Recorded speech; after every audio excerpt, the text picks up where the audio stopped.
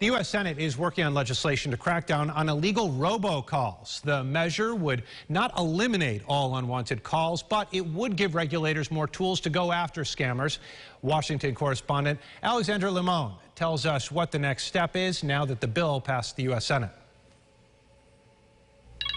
While robocalls can be used for legitimate business purposes, the reality is many times they're used to illegally scam people into giving out personal information or money. Our phone has become a tool for fraud and scams and harassment. Senators Ed Markey and John Thune led the way on the TRACED Act, which passed in the Senate Thursday. It increases the financial penalty for those individuals making robocalls from $0 to $10,000 per call. AARP is one organization that strongly supports the TRACED Act. It says older Americans are among the most vulnerable to robocalls, in part because they tend to always pick up the phone. The generation um, of like my mom, she's 76, she cannot let a call go in without picking it up it's generational. Kathy Stokes says that's why AARP is working to ensure members of Congress in the House also passed the bill. In 2018, um, American homes received 48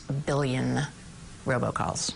That's with a B and that 40% of them could be scam calls. The House is expected to vote on the legislation soon, and Texas Senator John Cornyn points out it passed with nearly unanimous consent in the Senate. If there's one thing that unites Republicans and Democrats in Washington, D.C., is we all hate robocalls. You can also protect yourself by adding your phone number to the National Do Not Call Registry at donotcall.gov.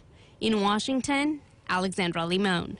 The nation's communications regulator will vote in June whether to allow uh, carriers to block scam calls by default for customers.